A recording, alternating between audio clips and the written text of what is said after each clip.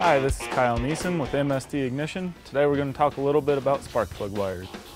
To start off with, MSD was the first company to have a spark plug wire with 50 ohms of resistance per foot.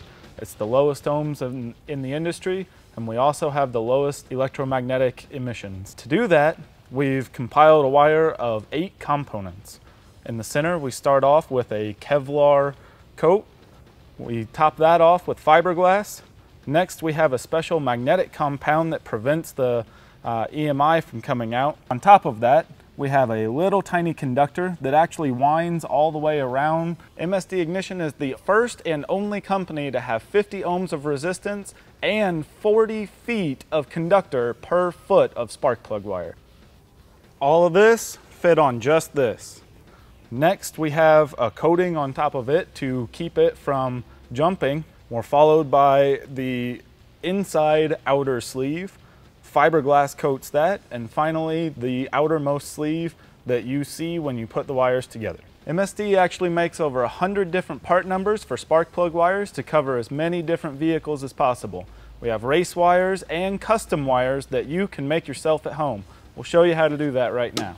First, we'll take a wire, cut the insulation off, the amount of insulation you cut off depends on if it's our dual crimp wire or the traditional wire that you fold back. On the dual crimps, you go just past where the insulation actually comes out of the crimp tools. On a, uh, on a fold back style, you'll cut enough back that you can fold the full conductor back.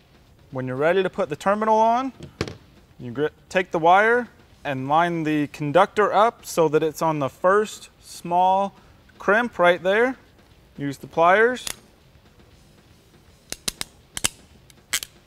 Crimp down.